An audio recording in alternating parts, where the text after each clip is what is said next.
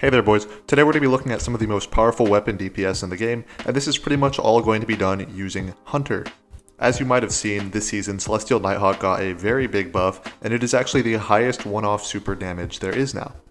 Even before this buff, while the damage that Celestial did wasn't quite as high as what Blade Barrage did, it was still something that you could pre-pop and then switch to another exotic and still do the Celestial shot with, so it was still something very good for actual DPS and weapon swaps and the more sweaty setups. So obviously this buff has pretty much just made it the most dominant super in the game for DPS. That being said, there are other ways to increase your damage as well, especially on Hunter with things like Radiant Dance Machines, Dragon Shadow, and Foe Tracer. So today, we're going to be hopping into all those different things and really looking at just how powerful Hunter is as the Glass Cannon DPS setup. And first things first, we're going to be looking at these supers. You really couldn't cover Hunter DPS without looking at these because Hunter damage supers are some of the best in the game. And we're actually going to be looking at four supers, which is probably surprising to most people because they're probably only expecting two, maybe three. And first up is going to be Celestial Nighthawk. Now before we look at some numbers, I do need to point out the fact that the Seasonal Relic this season is increasing the damage of Celestial Nighthawk and also Blade Barrage, so the numbers in game are actually going to be a little bit higher than what I'm talking about here.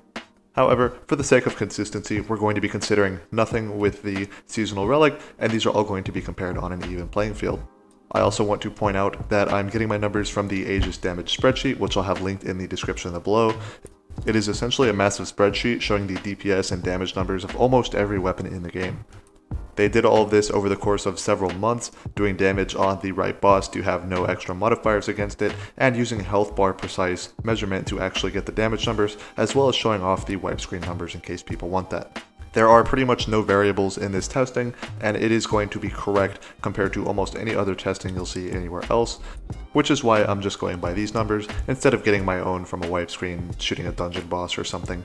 Anyway, onto the first one, we're looking at the Celestial Nighthawk damage. When you fully buff up Celestial with Radiant and debuff and all that, you're going to end up hitting for just under 720,000 damage.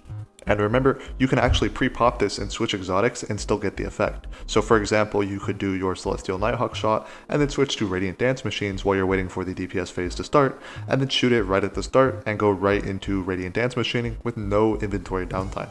Following that is going to be Blade Barrage, which was considered to be the king by most people, except for mostly speedrunners who are doing sweaty swaps with Celestial already, and simply it's because it used to be the highest damage one-off super, because Gathering Storm had been nerfed back in Season 20. And it actually still is technically the highest damage super in the game, however I say technically because it is much harder to get the entire damage than it is with Celestial Nighthawk. Blade Barrage, fully buffed up with Tractor and Feast of Light and everything, is going to be hitting for about 735,000, assuming you can hit every single knife, but you need to remember that it's going to be shooting out around 20 knives, and if you're not aiming at a larger target, you're bound to miss one or two of them, and that will immediately bring it underneath of Celestial Nighthawk. In addition to that, it also doesn't have the benefit that Celestial Nighthawk has for being easier to swap with. And lastly, the animation is actually longer than even doing the entire Celestial animation and shooting the gun right after, so it is still technically considered to be less DPS, even though the super itself actually does 15k more damage total. Following that is going to be Gathering Storm. It's still pretty decent, however it is definitely not what it used to be in Season 20. Gathering Storm is going to hit for 640k total, however that is at a couple of caveats. The first one being that you can only have one person's Gathering Storm going off at the same time. The second one being that its damage is not instant. It takes several seconds to do all of its damage, and this means that if a boss has a very short damage window, or obviously you want to have multiple people using it, you're not going to be able to do that. And finally, the one I think that is going to surprise the most people is going to be Mobius Quiver. Most people, when they're looking at Tether, they just want it for debuff, and they're simply going to be shooting it at the ground next to the target, just to apply the 30% debuff, which is obviously pretty good. However, something a lot of people don't realize is that Mobius Quiver, if you time it out properly, can actually do debuff for the same amount of time as a Deadfall Tether, however it can also do some actual damage. Mobius Quiver is going to hit for 232,000 damage per volley, and remember you get to shoot two of those. However, it is a little bit weird because the wipe screen numbers actually don't reflect the damage of the first volley. For whatever reason, the game doesn't show the debuff being applied to the numbers that are shown to you on the wipe screen for Mobius Quiver, but it is actually applied to the boss's health bar, and the health bar is what actually determines when the boss dies, so you will actually be doing pretty good damage by doing this. The main reason this isn't used that often is because it requires very good timing in order to actually get the same amount of uptime on the debuff as using Deadfall, and typically you just don't need that extra 200-400k damage.